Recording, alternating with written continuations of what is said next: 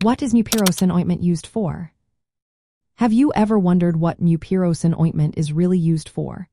This topical antibiotic is quite effective in treating various bacterial skin infections. Mupirocin works by stopping the growth of bacteria and killing those already present on the skin. It targets specific bacteria, including Staphylococcus aureus and Streptococcus pyogenes, which are common culprits in skin infections. One of the main uses of mupirocin ointment is for treating impetigo. This is a highly contagious skin infection that often affects children. Mupirocin is also beneficial for secondarily infected traumatic skin lesions. These are areas where the skin has been damaged and then become infected by bacteria. In addition to treating infections, mupirocin ointment can help prevent the spread of bacteria.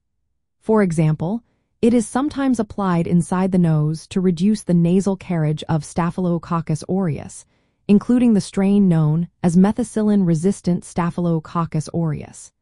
This is especially important in healthcare settings where infections can spread easily.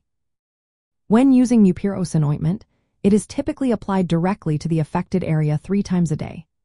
If necessary, a dressing can be placed over the ointment to keep it in place. While mupirocin is effective for many bacterial skin infections, it is not usually the first choice for treating wounds unless they do not respond to other treatments.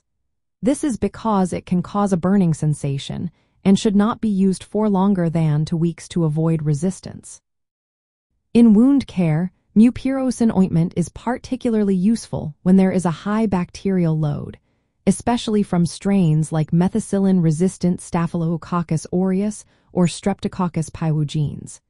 It is often used when other treatments have not worked or are not appropriate. Overall, mupirocin ointment serves as a versatile treatment option for various bacterial skin infections. It provides relief while also helping to prevent the spread of infection. If you have a bacterial skin issue, mupirocin ointment could be a helpful solution.